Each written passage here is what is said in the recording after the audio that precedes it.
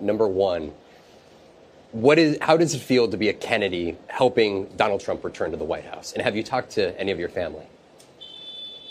Well, I had a lot of family here. So there was a there was a lot of family that worked on the campaign, and they were here. So we had about 18 people here at the Mar-a-Lago dinner last night, and they're very happy. I'm sure there are members of my family that aren't that happy, but I've received a lot of congratulations from them too. From some of the supporters of Vice President Harris, Yeah. you've received messages from. Yeah. For you, what have your conversations been like with Donald Trump? He has said, Donald Trump has said that he would put you in charge of the public health agencies. What exactly does that look like? Well, he's been very specific in what he said. He wants me to do three things. One, clean up the corruption of the agencies, particularly the conflicts of interest that have turned those agencies into captive agencies for the pharmaceutical industry and the other, the food industry, the other industries that they're supposed to be regulating.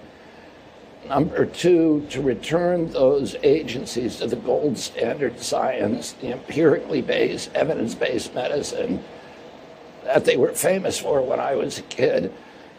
And number three, to make America healthy again, to end the chronic disease epidemic. And President Trump has told me that he wants to see measurable, concrete results within two years in, in terms of a, a measurable diminishment in chi- chronic disease among America's kids. So, is that specific role to be the Secretary of Health? I don't know. We have not decided yet what my official role is going to be. It'll What did you tell him you would like that role to be? That's why I, I didn't tell him. I've told them that I want to think about it. So, in that capacity, though, you feel confident that you have given been given the assurance that you would be able to have an actual role in the administration that would allow you to make those sorts of decisions. Yeah, absolutely. He's asked me to do that. He's, you know, President Trump is very committed to this issue. And he was committed to it before I came on board. In fact, he called me in 2016 when he won, and he wanted to do something like this back then. And for a variety of reasons, we ended up not doing it. But as far back as June of this year, he was doing tweets that looked like I had written them, you know, talking about chronic disease and the necessity, how debilitating it is for our country. When my uncle was president, 6% of our kids had chronic disease. Today, it's 60%. When my uncle was president, three three percent of Americans were obese. Today, it's about seventy percent obese or overweight. In other countries that don't have all these poisons food, like Japan, it's still three percent. And when my uncle was president, I was a ten-year-old boy. We spend zero on chronic disease in this country. Today, we spend 4.3 trillion, so it's five times our military budget. It's existential for our country. 77% of American kids cannot qualify for military service because of chronic disease diagnosis. We have to put an end to this. Would you like to be nominated to be the Secretary of Health and Human Services? Like I said, I don't know if that's the post that I want. I may be more effective in the in the White House as a health czar or something like that, but we don't know. We haven't uh, we, we haven't decided. We're meeting today on these issues. Would that be ideally looking over the 13 health agencies that fall under HHS? Well, I yeah, that would be one way to do it. There's other ways to do it too. You said you're meeting with now President-elect Donald Trump here this afternoon. Uh, I'm meeting with his team, with his senior team today. What is your plan these next three months? Um, I plan to spend a lot of time in Palm Beach over the next three months meeting with the team, putting together. We have a 30 day plan, we have a 60 day plan, and we have a 190 day plan. There are things that we want to get done very quickly. Have you been given assurance that you would have a staff even? Yeah, I will. I, and I don't want to talk about specifics about what the administration. Well, then what, what, what is your plan come day one? What is at the top of your list that you want to make sure you, with the power, you've watched a lot of administrations over the course of the last several decades. What do you want come January 2025 to do on uh, I'm going to do things that clean up the corruption in the agency. That's the really, you know, we have a thousand ingredients in- our food that are illegal in Europe, that are illegal in other countries, and they're making our kids sick. So does that mean They're- taking they're- like they are lawsuits? there, they're there because of corruption in our agencies. Does that mean using the agencies to ban those products in There's U.S. a lot of different ways to do it.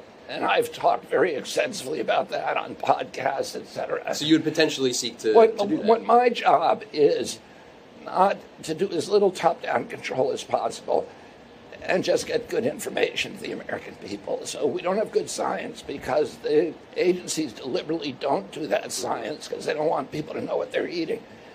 What I'm going to do is make sure that Americans have good information, good, the best gold standard science about their food and medicines, and then leave the choice to them. You have been a crusader on questioning vaccines.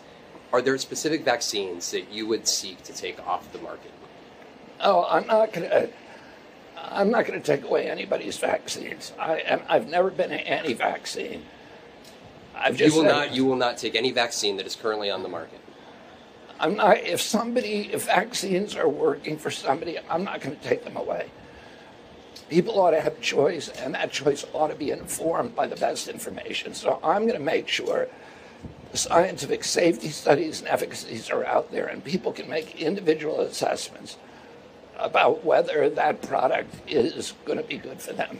Would that include COVID vaccines that are currently on the market? I, I want the best science for every vaccine. It is part of that. In during the pandemic, the height of the pandemic, you were questioning the FDA and calling them out for uh, uh, approving the emergency authorization of the COVID vaccines. If you had been in charge of the FDA at that time, would you have blocked the authorization of the COVID vaccines, What like you were I- suggesting publicly? What I was saying at that time is the vaccines are not going to prevent transmission, which they were telling the public that they would.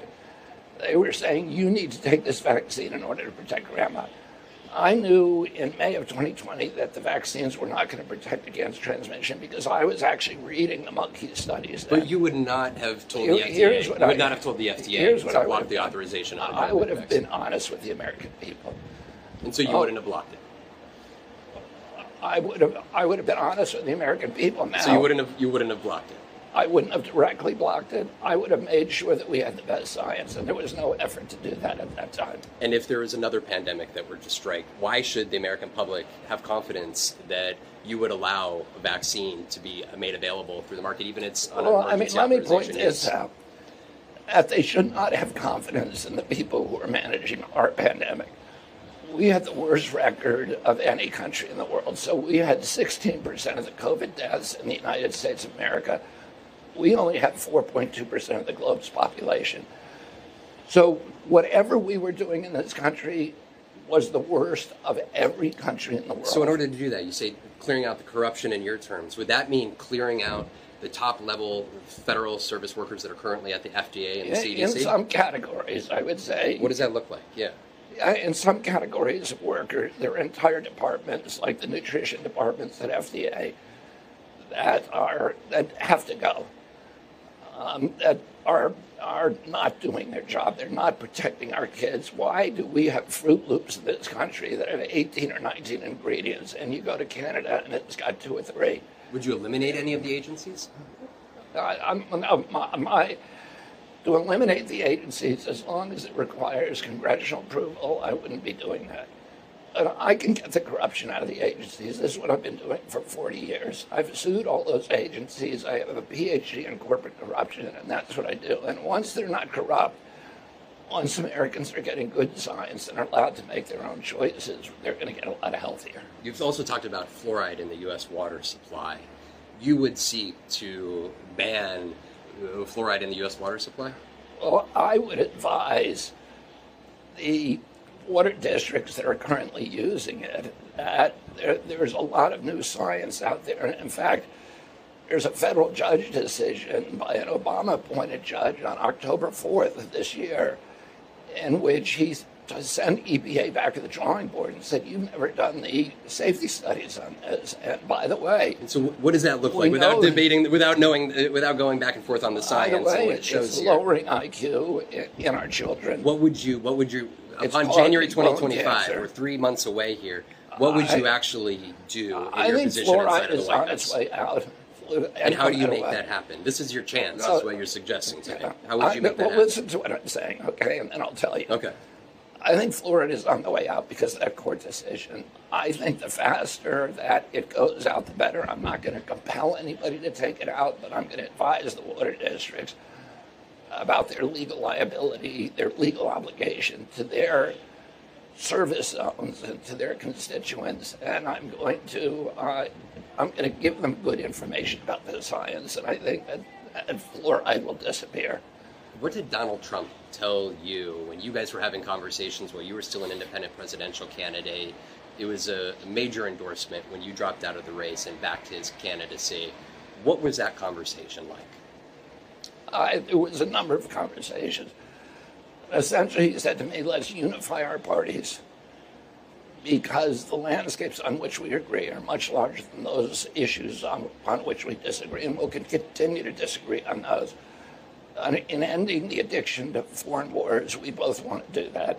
Ending the surveillance, the censorship, you know, the media collusion and that censorship, we want to end that and then making Americans healthy again. And those are three big issues, and for me, and we agree 100% on those issues, so let's do it. What was it like to be a Kennedy at a Republican victory party for president last night? Very unusual. I never thought I'd be there. Finally, here, over the course of the next three months, is there any assurance? You know, we have seen this is going to be our second Donald Trump administration. And there was a lot of folks that came into his first White House who came in with what they said were good intentions. Donald Trump ultimately cast them aside, fired them, let them go from the administration. What gives you confidence that Donald Trump is going to be loyal to you and your mission come 2025? Well, President Trump said to me on, on several occasions, we've talked about what happened in 2016, and he said, I got there and I wasn't able to, I, I was not prepared to govern, and I was surrounded by corporate lobbyists and corporate CEOs, and they said, appoint that guy, appoint this guy, appoint that guy. And he said, I appointed a lot of bad people. And in fact, it, there was probably a higher turnover on his cabinet in the first year or two years than any other cabinet in history because he was realizing he appointed a lot of bad people. He said, This time I'm concerned about my legacy. I only have four years. I want to leave America better. And the key to that for me is ending the chronic disease epidemic, and I want you to do it. So that is uh, that was an offer I couldn't refuse. How much of a role do you think you played in his victory last night? How much of a role did he say you had in his victory? I have not had that conversation with President Trump, and the victory belongs to him, not to me. Finally, any other specific healthcare policy that you will seek to implement in this role that you will have come January 2025 that we should be asking you about I'm now? I'm not going to talk about specifics. Anything else, Oh, guys? Hmm? Okay, one more because he said it. Liquid gold. We've been listening to Donald Trump's speeches there, and he says he'll let you do whatever when it comes to healthcare policy and vaccines. He said the one thing you can't touch, in his words, was liquid gold with gasoline. What have you told him in response, and was that part of the agreement? No, you know, I understand that that's a big commitment that he's made to his constituents, that he wants to make America energy independent, which so which I do too. And there are arguments for which he's made right now. The United States is best regulation of oil drilling. There's still a lot of deficits. and Fracking gets into people's waters, et cetera we have the best regulation probably of any country in the world. And when and and we now have oil drilling going into the Amazon and absolutely devastating it. I've also talked to the president about this that if you're worried about carbon, and for millions of Americans who are and see climate change as existential, the most important thing you can do about carbon is to fix our soils do regenerative agriculture. If we did regenerative agriculture on America's soils, we could absorb 100% of the, of the carbon and get us down to pre-industrial levels. Oh, it's more, it's better than anything that we can do, and that's part of the, the role that I hope to play in government. Last, last thing. Any other names or of allies of yours No. that you are recommending for HHS secretary or other FDA Nope. or CDCA? Not talking about You've it. got it in your head, and we'll follow up with it. Thank you, Mr. Kennedy. I appreciate it. Thanks for watching. Stay updated about breaking news and top stories on the NBC News app or follow us on social media.